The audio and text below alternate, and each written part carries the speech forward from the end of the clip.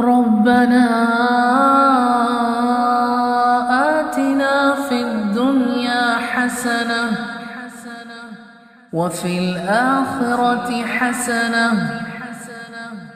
وقنا عذاب النار. نحمده ونصلي على رسوله الكريم. أما بعد فأعوذ بالله من الشيطان الرجيم. رب اشرح لي صدري ويسر لي أمري واحلل عقدة من لساني يفقه قولي. ربي يسر ولا تعسر وتمم بالخير. أم حسبتم أن تدخلوا الجنة ولما يأتكم مثل الذين خلوا من قبلكم؟ مستهم البأساء والضراء وزلزلوا حتى يقول الرسول والذين آمنوا معه متى نصر الله؟ ألا إن نصر الله قريب. آپ دیکھیے کہ جب تک انسان اپنا محاسبہ نہیں کرتا نا تبدیلی نہیں آ سکتی۔ ہم ساری دنیا کی باتیں کر لیں، ہم بڑی بڑی باتیں کریں، بڑے بڑے بول بولیں۔ لیکن اگر ہم نے اپنے آپ کو ٹھیلی دی، اپنے آپ کو بچاتے ہی رہے، تو بات نہیں بنے گی۔ اور قرآن پڑھتے ہوئے تو خاص طور پہ انسان کو اپنے عیب اس طرح سے دکھتے ہیں جیسے آئینے میں اپنا چہرہ دکھتا ہے۔ اب دل میں آجزی آتی ہے، شرمندگی ہے، ندامت ہے۔ بعض دفعہ انسان پھر مایوس ہونے لگتا ہے۔ کیا میری بھی بچاؤ کی راستہ ہے کوئی؟ میری تو آگ بڑی تیز بھڑک رہی ہے۔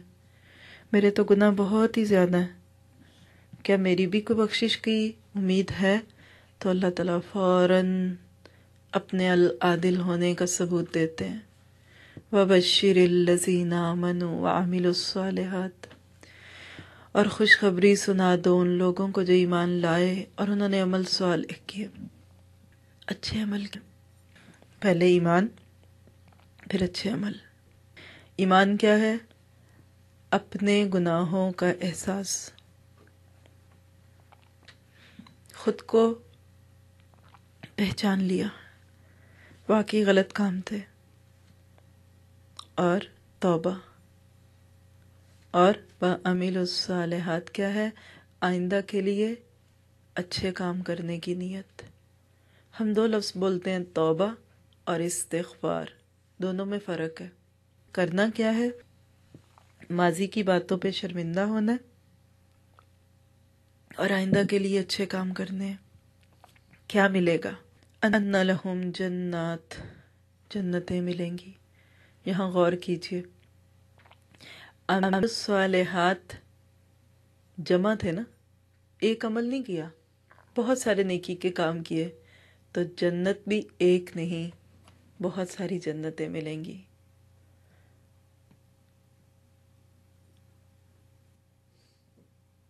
قرآن پاک میں آتا ہے، وَلِمَنْ خَافَ مَقَامَ رَبِّهِ جَنَّتَانِ۔ جو رب کے سامنے کھڑا ہونے سے ڈر گیا۔ اس کے لیے دو جنتیں جتنی کوشش، اتنی جنتیں، اتنی تیاریاں۔ وہ کیسی ہوں گی یہ اس کو پتہ ہے۔ ہمیں تو اس نے بتا دیا کہ بس تمہیں جنتیں ملیں گی۔ من تحتها الانہار، ان کے نیچے نہریں بہ رہی ہوں گی۔ کس کے نیچے نہریں بہ رہی ہوں گی؟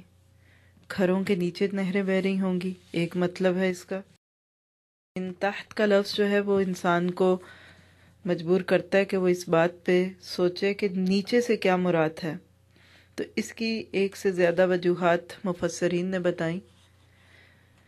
کہتے ہیں کہ وہ اونچی جگہ پہ ہوگا۔ انسان کی جو جنت ہے وہ اونچی جگہ پہ ہوگی۔ اور اونچی جگہ پہ جب بندہ ہوتا ہے تو دور تک ویو دکھتا ہے۔ یعنی آپ پہلے فلور پہ دیکھیں گے تو آپ کو اپنے ارد گرد کے پانچ چھ گھر دکھیں گے۔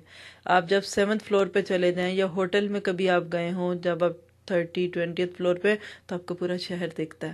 تو ایک اس کی وجہ یہ بتائی گئی کہ وہ اونچے ہوں گے، ان کے درجے اونچے ہیں، تو ان کو نہریں اپنے نیچے دکھ رہی ہوں گی۔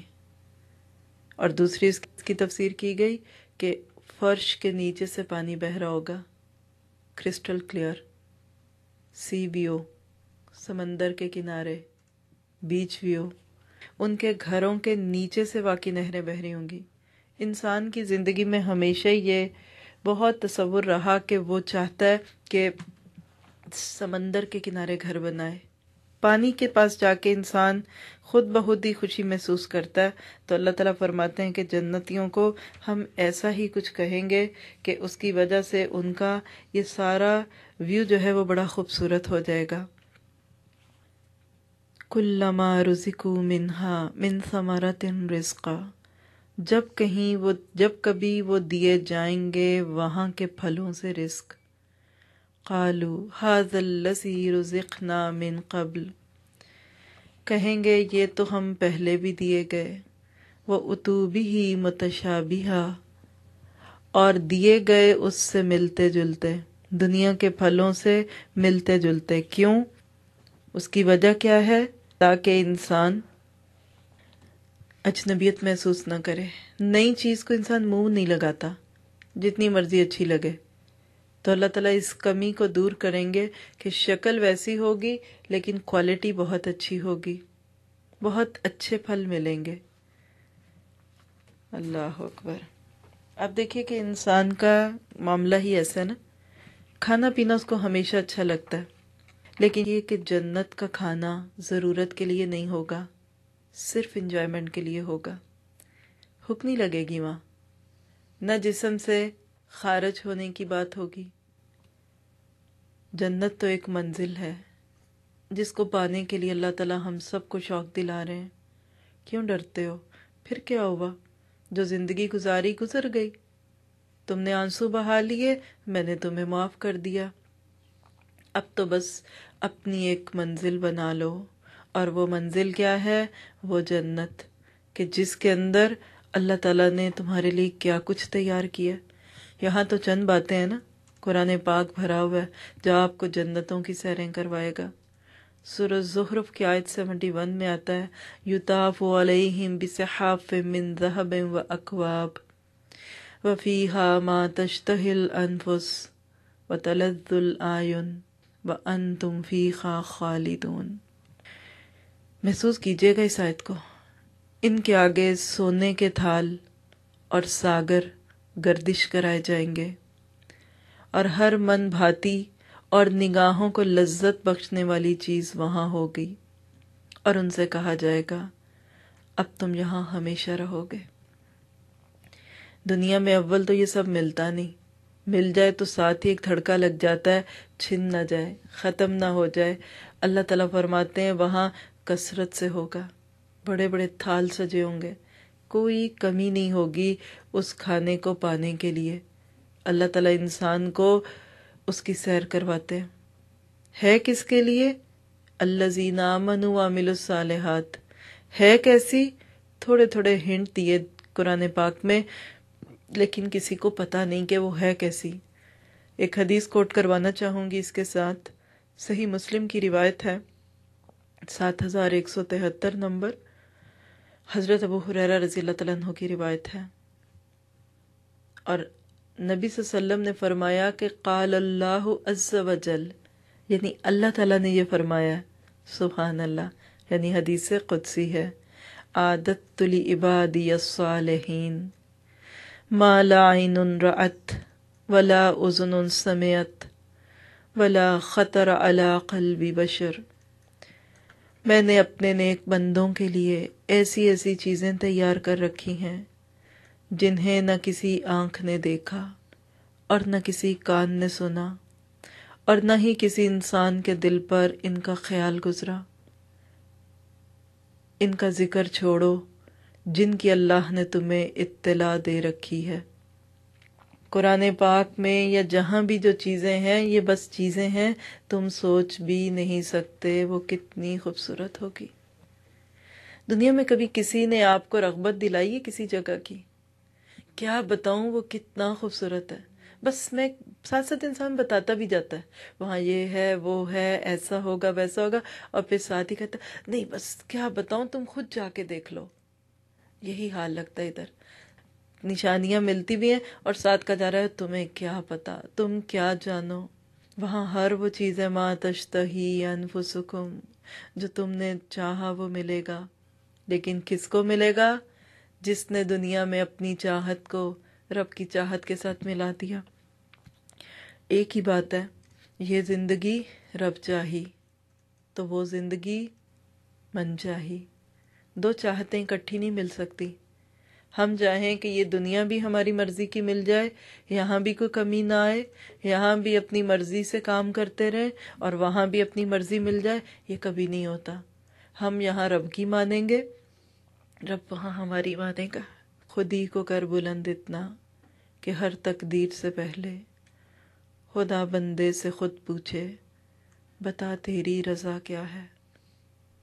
دنیا میں بھی کسی کو دیتے ہیں تو اس سے پوچھ پوچھ کے دیتے ہیں کہ تمہیں کیا پسند ہے؟ کیا لینا چاہو گے؟ تمہیں کتنا اچھا لگے گا؟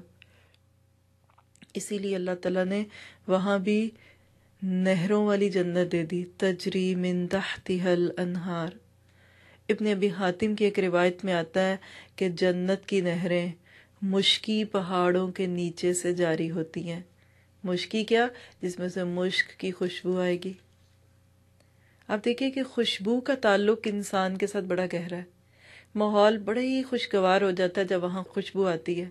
جنت میں خوشبوئیں بھی ہوں گی اور وہاں ایسی چیزیں ہوں گی کہ جس کو پانے کے لیے انسان بے چین ہو جائے گا۔ لیکن اس کے لیے دنیا میں ڈائریکشن منتخب کرنے کی ضرورت ہے۔ ہم نیکیاں کرتے ہی رہے ادھر سے ادھر لڑکتے بھی رہے لیکن ہمیں پتہ نہ ہم نے کہاں جانا ہے، تو پہنچیں گے۔ کوئی دنیا میں بے سمت چلنے لگ جائے، کبھی بھی نہیں کہیں پہنچے گا۔ اللہ تعالیٰ ہمیں بتاتا ہے کہ دیکھو تم نے اس جنت میں آنا ہے، زیادہ دور نہ جاؤ۔ ٹھیک ہے، کچھ خطائیں ہوں گی، کچھ لغزشیں ہو جائیں گی، نافرمانیاں ہو جائیں گی، لیکن اتنی دور نہ جاؤ۔ کہتے نا کہ اتنا بے سمت نہ چل، لوٹ کر گھر جانا ہے۔ یہ کوئی زندگی ہے کہ رب کو فراموش کر کے جیو؟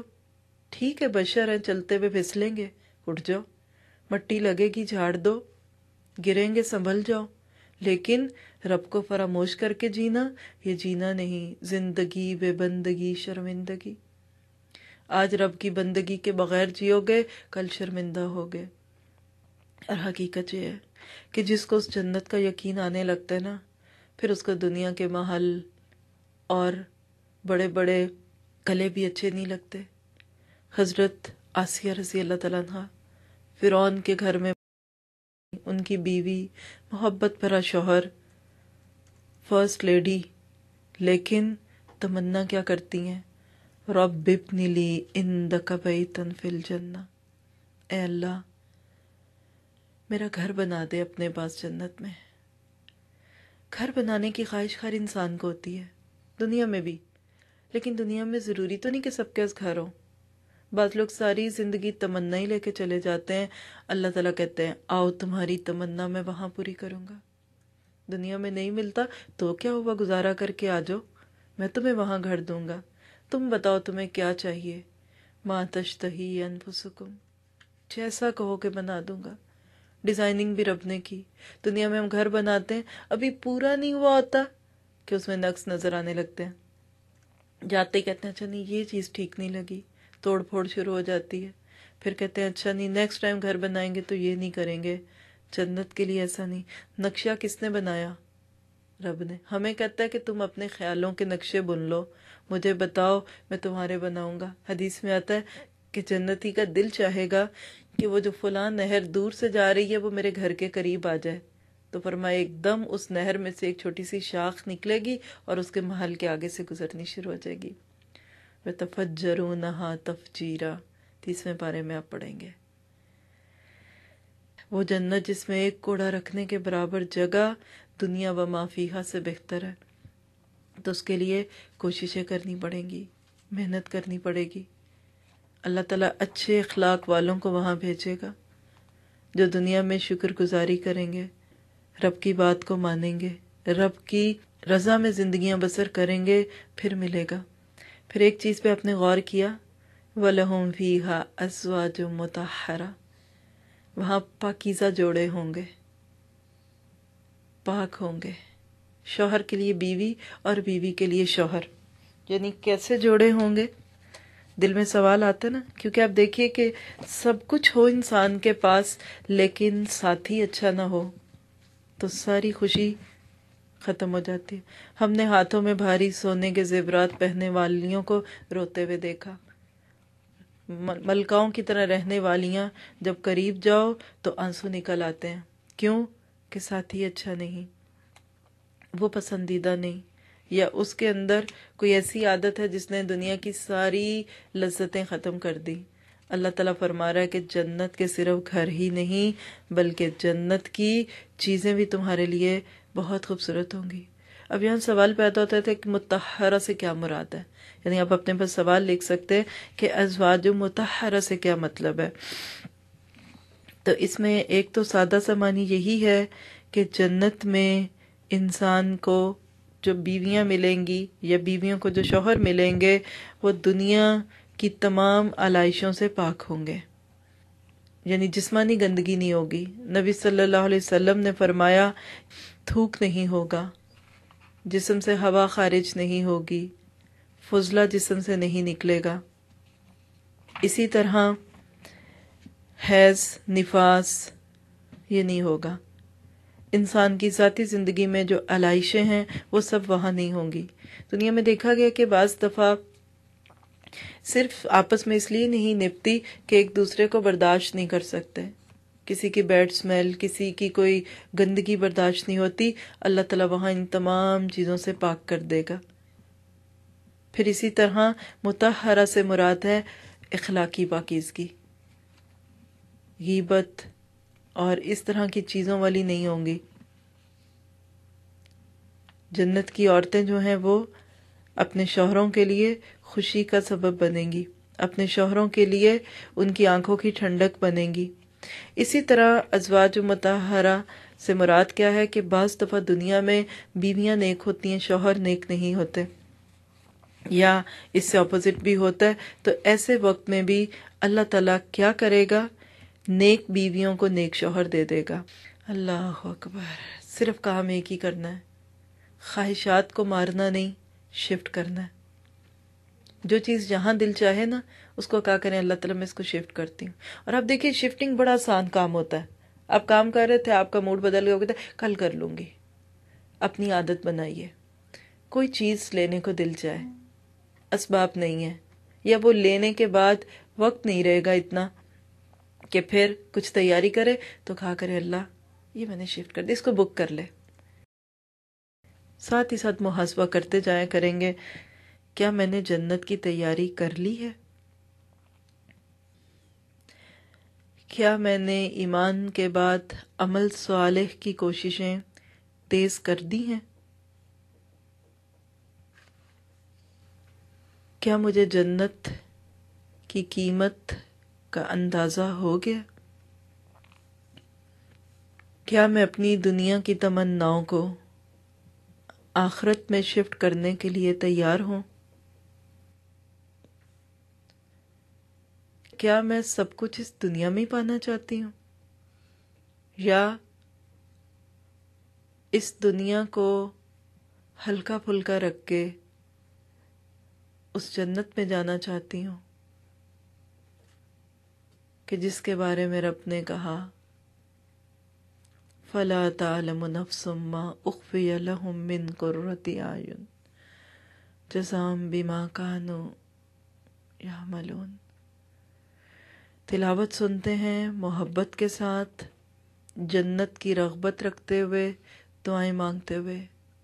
رب ابن لی اندک بیتم فی الجنہ۔ أم حسبتم أن تدخلوا الجنة ولما يأتكم مثل الذين خلوا من قبلكم مستهم البأساء والضراء وزلزلوا حتى يقول الرسول والذين آمنوا معه متى نصر الله؟ ألا إن نصر الله قريب. سبحان ربك رب العزة عما يصفون. وسلام على المرسلين والحمد لله رب العالمين. السلام علیکم ورحمۃ اللہ وبرکاتہ كل نفس ذائقة الموت.